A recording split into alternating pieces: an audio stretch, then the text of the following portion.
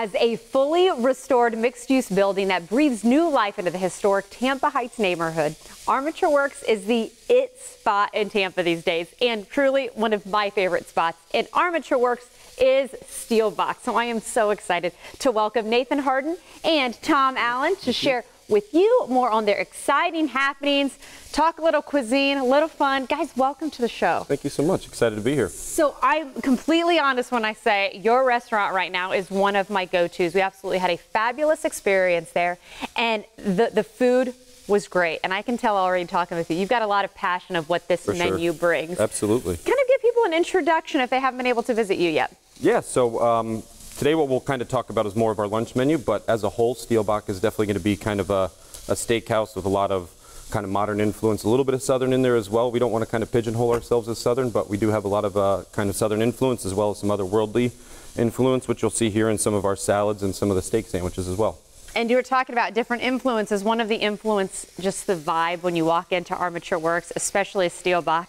Talk about what people can experience because you really do feel that you're like transported back in time in a Oh, way yeah. with a modern twist, right? With the character of an old building, you, you cannot replicate that with new structure. And you feel that the moment you walk in, and with the design of it, you feel that with our tables, chairs, the, the whole setting works really well. So we didn't have to work too hard to make it feel great. Because you feel it the moment you come in, especially with our wine cellar, a converted bank, a converted vault, which still works. The vault, uh, the lock is over 100 years old and still works. wow. Uh, and we've converted that into a wine cellar with a 200 bottle wine list. So it's been, it's done really well.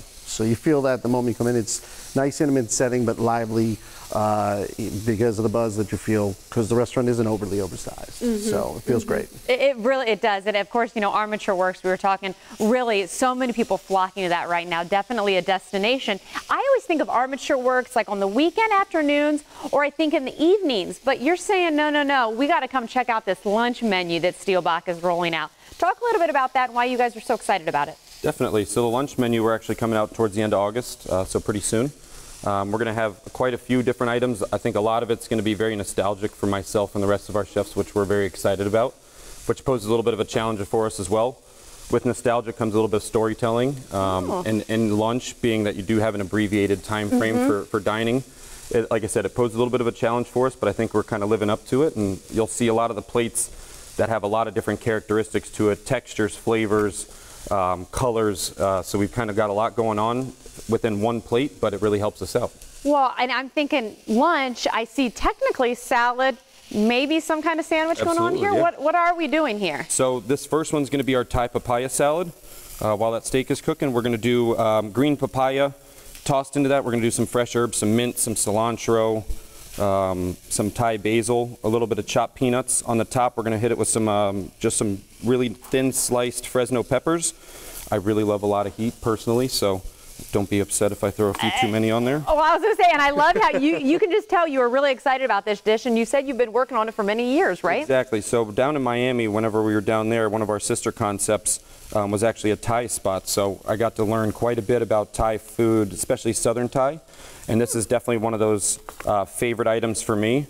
Um, so we're going to throw a little bit of uh, tomatoes on there, some green beans. It's really bright, colorful. It's a really texturally sound dish.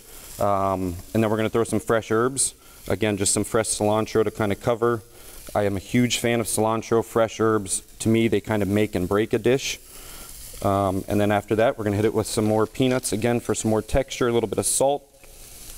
And then that last thing that And, we're and you touched on too the noodles, green papaya, right? That was at the base. Which, by the way, I feel better about myself because Carly, who we all know, knows her produce. She even had to ask what that Yeah, was. yeah, so I feel better about myself not knowing what it is because this is all new to me. Absolutely. And while you're doing that, you kind of touched on a little bit your beef. That is something that Steelbach is really making headlines for. Well, we have a wonderful beef program working with the Double C Bar Ranch out in Kenansville. Developed the program of buying our own cows. And there's a lot that goes into that because when you buy a cow, what do you do with the rest of it and trying to figure that out. But the grass fed program is been fantastic. So grass fed isn't easy to do in Florida. They do a great job of it. We have this Pasture Plus program where the last three months we focus on a different type of diet of citrus pulp and wheat middling, so you still get the benefit of the grass fed and then still get that flavor, which what everyone wants in their steak. And you can match that up to any of these steakhouses that have been anywhere around the country, and I think you'll feel really good about that. And you know what? We've got about 30 seconds left here. So you got we're into crunch time of putting the dish together, but it looks like we're there.